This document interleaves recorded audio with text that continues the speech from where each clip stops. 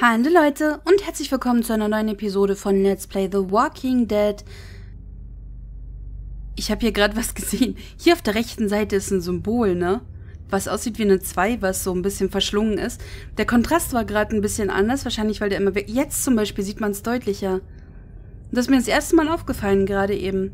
Ist das ein Symbol, was irgendwas zu bedeuten hat und was wir uns merken sollten? Ich versuch's einfach mal. Ich habe vergessen, wie ich den Satz angefangen habe. Auf jeden Fall sind wir jetzt hier wieder bei einer neuen Folge von The Walking Dead A New Frontier. Ähm, Season 3 quasi. Und ich würde furchtbar gerne wissen, wie der Spaß weitergeht. Deswegen setzen wir das Spiel einfach mal fort.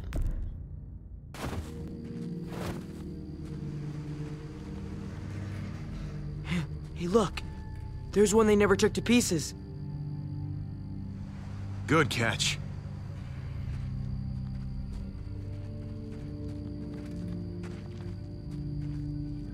Okay, absaugen machen wir auch gleich. Da ist bestimmt irgendwas drin. Also ein, ein Toter oder ein Opfer, ein Kranker, den sie einfach nicht mehr rausgeholt haben und der uns jetzt gleich anfällt. Und ungünstigerweise steht der junge Mann hier genau dahinter.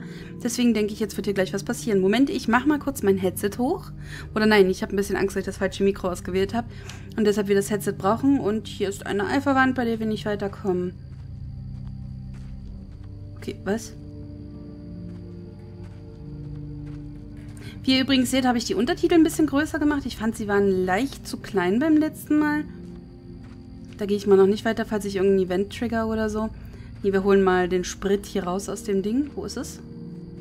Hallo? Hallo? Ach so. Öffne. War es beim letzten Mal schon so eine komische Steuerung? Hm. Shit. It's locked. Aufhebeln? Alright. Here goes nothing. Hätte man... Was? Ah, okay, ich muss es festhalten und runter. Fuck ah. yeah. Man hätte auch gucken können wahrscheinlich, ob vorne, ob man den Hebel ziehen kann, ihr wisst schon. Und raus mit dem Zeug. Look at all that fuel. This is gonna take a while. Okay, das heißt, wir können uns weiter umgucken. Hier vorne ist nichts am Auto. Ähm, wahrscheinlich sind hier entweder Medical Supplies drin oder ein Toter. Deswegen gucken wir doch mal durch.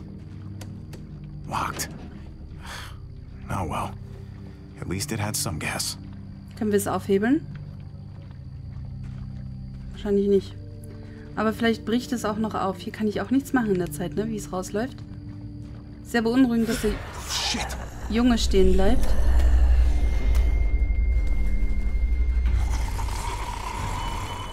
Okay.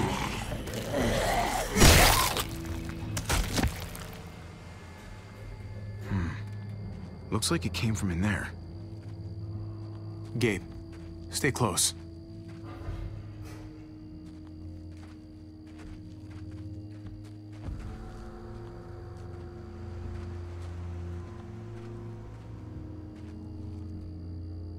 Okay, in der Hütte. Ich gehe mal noch nicht straight dahin, sondern erstmal hier so ein bisschen gucken. Ransacked a long time ago. Okay, hier ist eine Alpha-Wand, da komme ich nicht weiter. Was steht da? Ich komme nicht hin. Hier fliegen unendlich viele Zettel raus. Felgen, aber kann ich auch nicht nehmen und nicht angucken.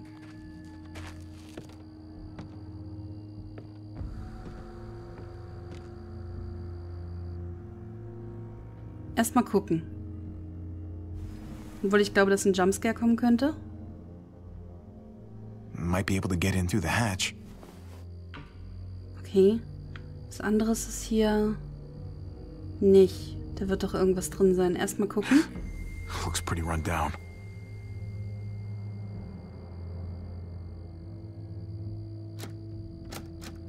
Locked. Können wir es nicht aufbrechen? Ja, sehr gut. Not gonna be able to pry this open. Damn it.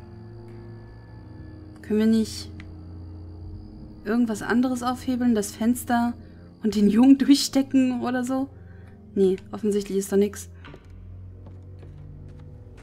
Aber es kann es doch nicht gewesen sein. Komme ich dort lang? Nein. Hat er was gefunden? Hier unten.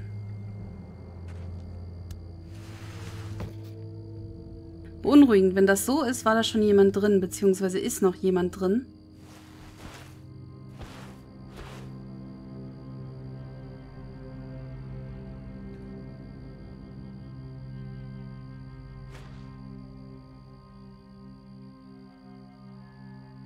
Ah, so kann ich wechseln. Okay. Warum? Ah, jetzt geht er. Die Luke. Kann ich die einfach so öffnen?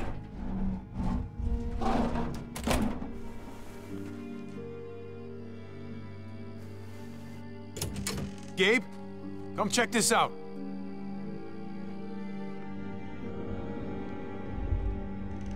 Not the cleanest place. Oh, no muertos at least.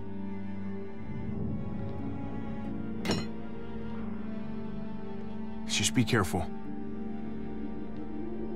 Immerhin keine Muertos. Heißt das nicht keine Toten?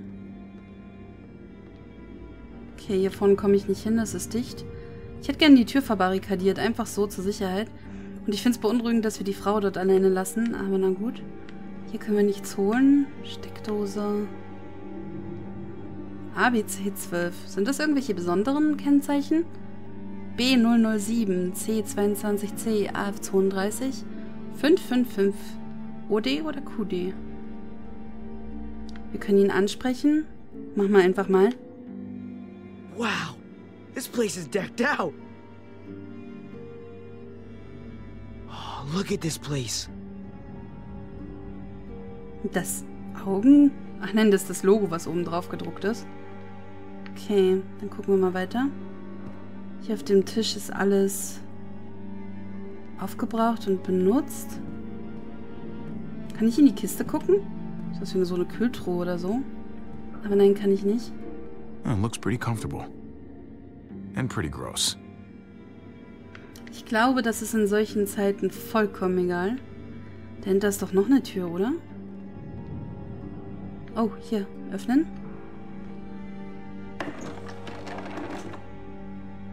Batterien. Nimm sie mit. Wir gucken sie uns erstmal an. I know someone will be happy to see these. Stimmt, sie hat doch ihren, ihren, ähm, Discman oder sowas mit, ne? Oh Gott, kennt jemand heutzutage überhaupt noch Discman und Walkman?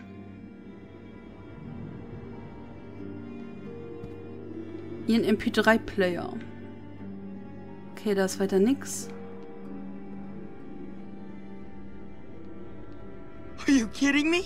Lucky for you, they put enough preservatives in this stuff to last for centuries. There's enough food in here to keep us going for a long time.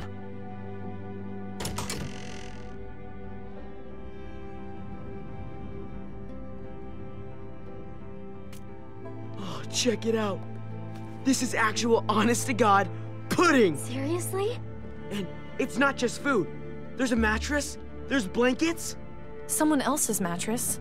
Someone else's blankets. We need to just take our gas and get on the road. Oh Gott. Well, you gotta admit, it's kinda cozy in here.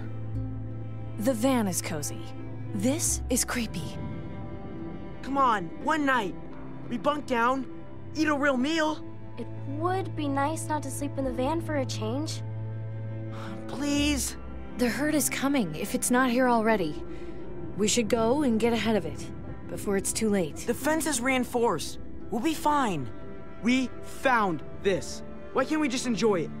Javi, can we? We could stretch out, sleep well for once. Come on, you know it's not a big deal. Sie hat recht. We've got guns. We can protect ourselves. Aber sie hat recht. And we'll feel so much better after some real sleep. We're gonna get what we came for and get out of here. Great. Another shitty cramped night in our shitty cramped van. Dafür überleben wir. Come on, let's at least grab the food. Ich habe ein bisschen Angst, wenn wir da geblieben wären, dass in der Nacht die Herde uns irgendwie überwältigt hätte oder sonst was. Da ist mir lieber, dass sie ein bisschen sauer auf uns sind und wir die Kinder behalten können.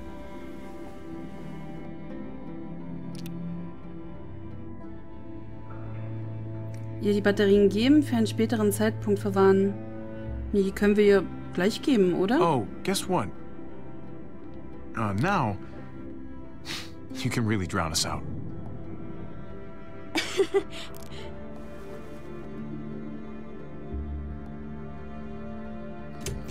Vielleicht hätten wir sie später für irgendeine andere Gerätschaft eher gebraucht oder so. Thanks for that. Backing me up and all. How does it feel to be the bad guy this time? It must be a new sensation for you. Oh no, oh boy, sleeping in the van again? All I'll say is you definitely owe me one. Yeah, well, you owe me like a dozen, so I'll just shave it off your tab. Hey, Kate. Can you come help us with this?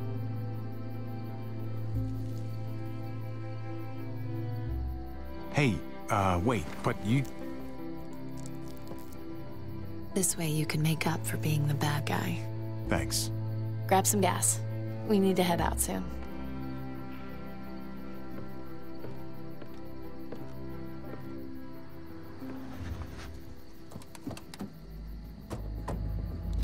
What the fuck do you think you're doing with our gas?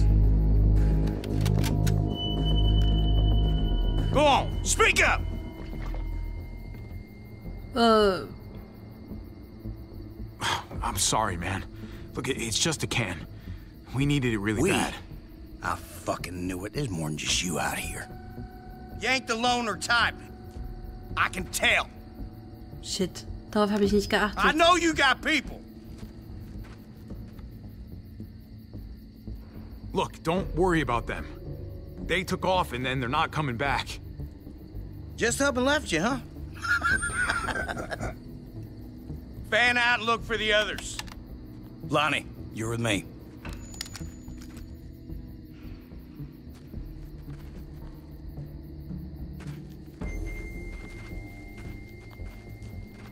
Hey, you assholes in there! I got your boy! You don't want him getting shot, you best come out there careful with your hands up. Go on, you first. You get ambushed by your own people, that shit's gonna make my day. Open it real slowly. Die sind durch die Luke nach unten abgehauen, oder? Ja.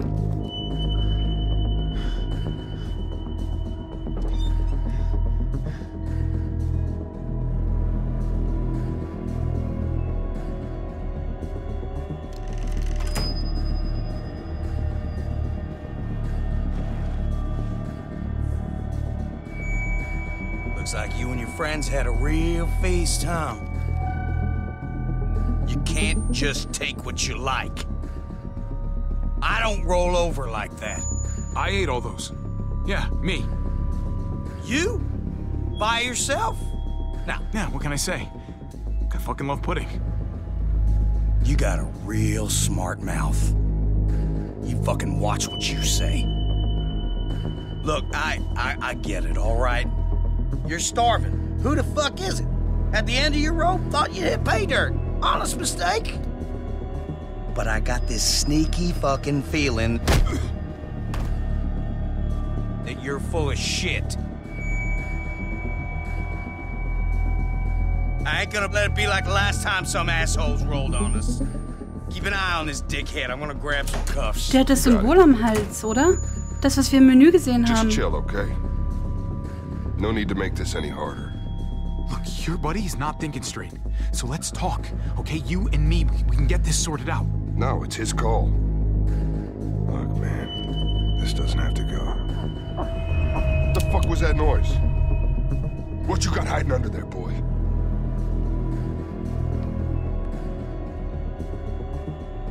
If you know something, you better spill it. You don't want me finding out for myself. Come on, man, what else? There are muertos down there. There were a bunch of them outside, too. Scheiße, er schießt deswegen vielleicht runter. The dead, huh? Well, then, we better take care of that, shouldn't we? Oh nein, shit, ich hätte es nicht sagen sollen.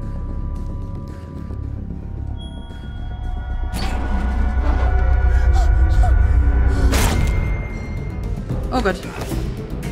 Guys, get the fuck in here!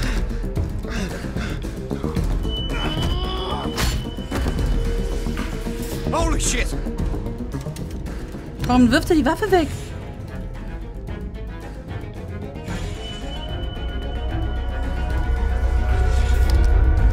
You Oh shit. pay for what you done here.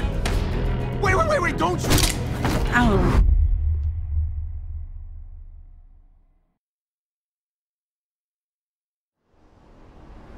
Aber liebe Leute, ich würde sagen, bevor wir gucken, wie es hier weitergeht und was die mit uns machen, ich habe blöde Entscheidungen getroffen jetzt hier in der Zeit. Wir hätten nicht sagen sollen, dass dort unten Streuner sind. Er hätte auch einfach durch die Luke oder durch den Boden, das war glaube ich ein Holzboden oder so. Ach nein, das ist ein Wohnwagen. Ihr wisst schon, er hätte einfach durchschießen können, da wären wir unsere Leute los gewesen. Und ich hätte am Anfang besser darauf achten sollen, dass ich überhaupt nicht erst wir sage. Das war die Aufregung. Aber liebe Leute, ich würde sagen, an der Stelle, wie schon gesagt, machen wir mal einen kleinen Cut und legen einfach in der nächsten Episode wieder los mit Let's Play Walking Dead. Und dann finden wir hoffentlich auch raus, was das für ein Clan ist, der dieses Symbol hat. Vielleicht habe ich mir das auch nur eingebildet, aber der Typ mit der Knarre, der so ein bisschen dunkelhäutiger war, ich würde denken, der hatte dieses Symbol, was hier auf der rechten Seite ist, am Hals irgendwie eingeritzt oder eintätowiert oder was auch immer. Mal sehen, was das zu bedeuten hat. Ich bin generell gespannt, wie sie die Story überhaupt verändern wollen, nach dem Ganzen, was man in ähm, Season 1 und 2 mit Clem und so erlebt hat. Aber genug geschwafelt. Ich möchte unbedingt weiterspielen, ich möchte gucken, was passiert und ob ich dumme Entscheidungen getroffen habe. Ich hoffe nicht. Deswegen danke fürs Zuschauen und bis zur nächsten Folge. Tschüss.